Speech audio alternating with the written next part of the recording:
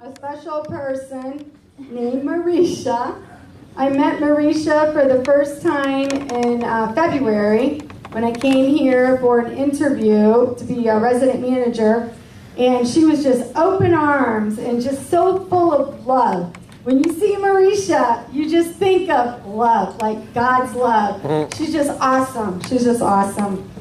Um, Maresha is originally from Washington State, and she's been here on staff at Faith Farm for a year now as the women's in- intake coordinator.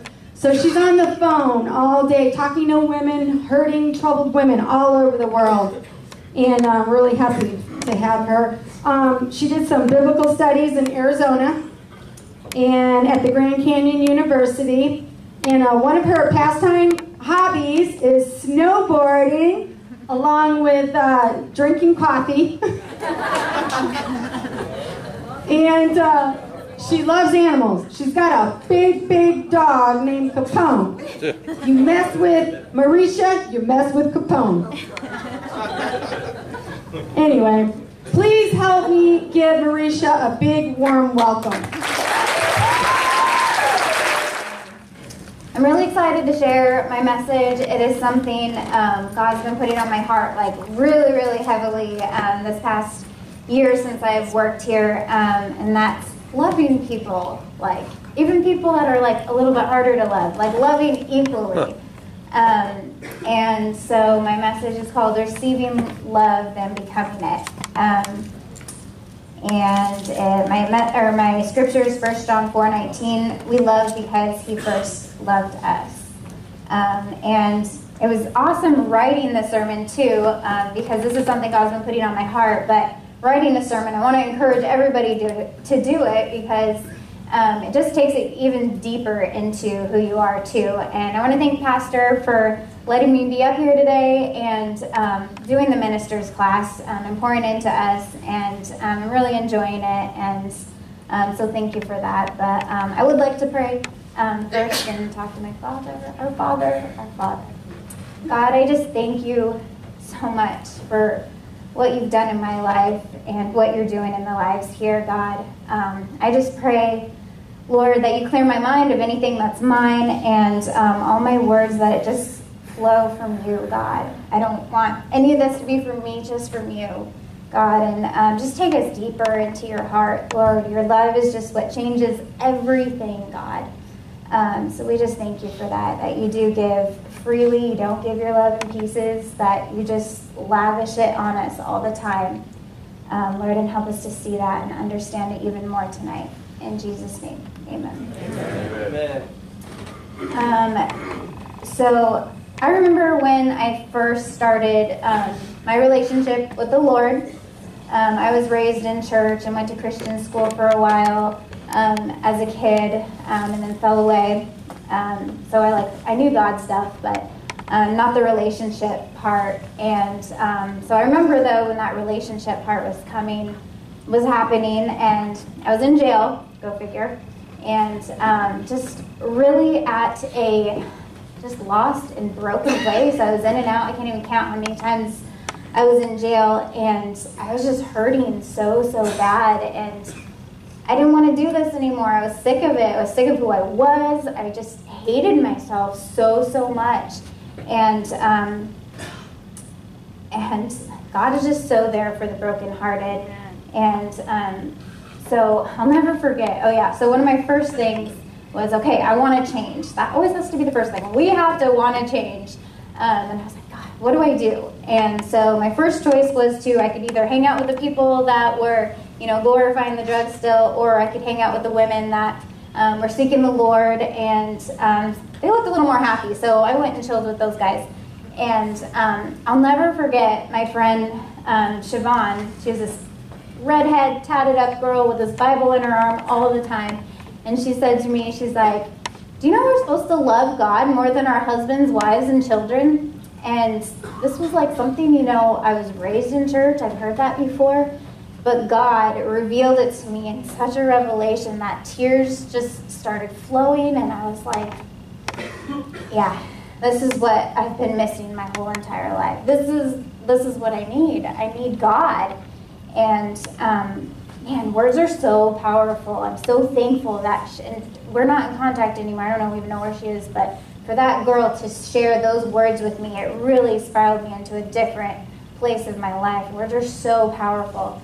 And um, so, okay, I need to, I need God. I need to love God. So, but what is love? I mean, at that time, love to me was, you know, buy me drugs, buy me a drink. Like, you know, that's what love to me meant back then. Give me money, whatever, you know. And I knew that was wrong, so I had to really see what love was according to God. Um, and then also, who's God? Like, I didn't know, you know, we, say put your trust in God. Well, how do you do that when you don't know Him? And so the journey began. And I had the time while I was in there, so, you know, might as well get into the Word. Um, and so 1 Corinthians 13, 4, 8, the definition of love, here we go. Love is patient, kind, doesn't envy, it doesn't boast, it is not proud, it doesn't dishonor others, it is not self seeking, it is not easily angered, it keeps no record of wrongs. Love does not delight in evil but rejoices in truth. It always protects, always trusts, always hopes, always perseveres. Love never fails. Like, that's a lot. Like, when we say we love somebody, like, we have to look at all of that. Like, that's hardcore. Um, John 15, 13. There's no greater love than one to lay down one's life for their friends. Like, that's really hardcore. I've never done that. I don't know about you guys, but. Um, and then Luke 6, 27 through 28. But love your enemies. Do good to those who hate you. Bless those who curse you. And pray for those who mistreat you ouch. Like, this is God saying this, not me. Like, so don't get mad at me. Like, this is God's stuff here. Um, Luke 6.32, if you love those who love you, what benefit is that to you? Even the heathen do that. Big deal. Like, we're called to a higher standard. Um, and then Matthew 22, 37 through 39, Jesus replies, Love the Lord your God with all your heart, with all your soul, and with all your mind. This is the first and greatest commandment, and the second is like it love your neighbor as yourself. Is Raj here? Oh, he's, he needed to. Yeah, so Raj, we've got to tell him he needs to love his neighbor. That's me. the next question. little hater. this next question, he says I'm his little sister that he never wanted. God's still working on him. We'll pray for him. Uh, the next question Who is God? And how do I get to know him? Um, like with any relationship, you know, with a person that you're trying to get to know, you have to spend time with that person um, spending time like in the Word and getting to know God, like that was huge for me. I mean, I knew like so when I went to a 12 month faith based recovery program. Actually, it was like 13 months for me. Was special. And so I was like, I have the time, you know, I might as well, I want to know what's in here. I want to know who God is. So I started from the beginning and started in Genesis, went all the way through to Revelation, and it just blew me away, you know, in the Old Testament, who God was and his just unending grace that just, every time we kept turning away, that he would just be right there scooping us back up. And it also gave me a really healthy fear for the Lord, too. Um, and the more I've spent time with God, the more I understand him and know his voice when he speaks to me. Um, building a relationship with him is kind of hilarious sometimes. Some of the stuff he's just like his ways really are higher than our ways. So when I was in jail, there was I had a really awesome cellie for a really long time. Praise the Lord, because that can be really hard. Um, but like a week before I was getting released, I was I got switched with this other girl, and I was really going through it. She I was on the bottom bunk, she was on the top bunk, and um, I'm not even joking. Anyway, she ripped her socks off and threw them in the sink that I brushed my teeth in. And she was picking her feet on the top bunk, and I was on the bottom bunk, and I'm like, really, God? And so I jumped on my bunk bed and I grabbed my Bible and I opened it up. God is hilarious. And I'm not even joking, it was Matthew 7. don't judge others or that's the way God will judge you. And I was just like, okay, God, I'm so sorry. And it, he just, it was when that repentance came that, you know, okay, I see what you're, you're saying, God. He really showed me her through his eyes. Um, and my heart broke for her. And she started opening up and sharing um, stuff about her kids, and it was heartbreaking. And he just gave me a love for her that I couldn't do on my own. Like, we can't do all that love stuff on our own. We need his love to flow through us.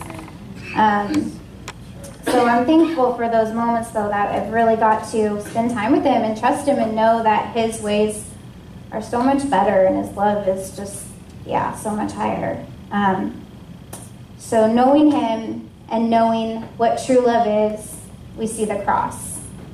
Um, who here has had like a cross revelation? Okay, two. That's awesome. So maybe. Okay. So well, that's kind of my own terminology. Um, it's like, yeah. Well, it's like. Let me explain. So, man, like, because we read about it, you know, the cross and all that kind of stuff, but how deep is it in our heart? Like, I'll never forget. Um, it was I was at Jubilee House, and it was Good Friday, the year 2012, and I went to church, and um, they were showing a documentary of, uh, it's called The Sacrifice, and um, it is of the Jewish people um, doing the sacrificial lamb um, for their sins. And so we're watching it, and I'm just like, you know, whatever, this is kind of weird, but um, here comes this lamb and they have a leash around it, and they're just like pulling this little lamb, this cute little lamb. I'm sorry, Vicky, you're gonna cry, but they're pulling this cute little lamb, and and its knees start to buckle, and it does not want to go. And they so they just grabbed it and ripped it and put it on the ground, and they held its neck down and they slit its throat, and this blood just starts pouring out. And I was just, I lost it. Yep. I was just like, once I saw that blood, like that was for me like, Jesus did that for me. And I just, it was the, the revelation of that, like, wow, this is love. Like, this is real.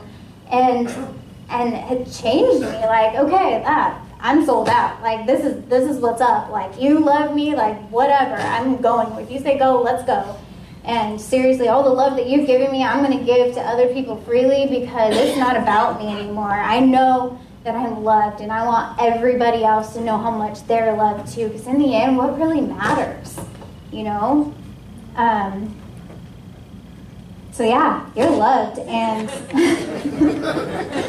um, and oh by the way, you're never gonna die. We those of us that are in Christ, like we have like God is preparing a place for us, and how amazing is that? And not only the afterlife, like right now we can live in freedom and victory in Jesus' name. Like right now, we can walk, we can be content in all circumstances in Christ. I mean, we can walk in the fruit of the Spirit any right now. Like love, joy, peace, patience, kindness, goodness, gentleness, self control, right now, all of it.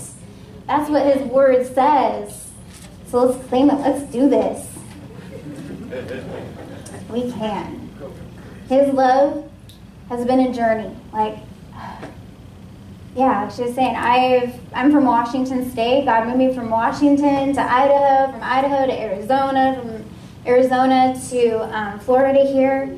And it's fun. Like, life with God is fun. Like, I used to, I remember I could never imagine life without drugs and alcohol. Like, I thought it would be so boring. But it's not like life is truly like this is what's up. Like life with him is awesome. And like you know if you really do like i have my moments you know i miss my family. My family is basically the farthest you can go unless if they were in alaska. But you know i miss them so so much. But jesus is seriously worth it all. And and wherever he wants you to go, just go, because there's seriously no greater cause than the cause of Christ. 1 Corinthians 13, 1 through 3.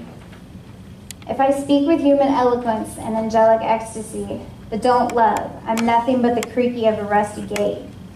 If I speak God's word with power, revealing all of his mysteries and making everything plain as day, and if I have faith that says to a mustard no, not a mustard, a mountain jump and it jumps, but I don't have love, I am nothing.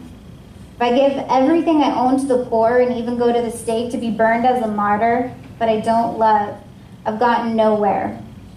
So no matter what I say, what I believe, and what I do, I'm bankrupt without love. Like, don't miss this, guys. Like, it's about love, and it's always been about love. Even from the beginning in the garden, God created us to love us, to walk with Him. Like, we can enjoy each other. So, and let's be aware of our heart's intentions too. Like, especially like us, like teaching and all this kind of stuff.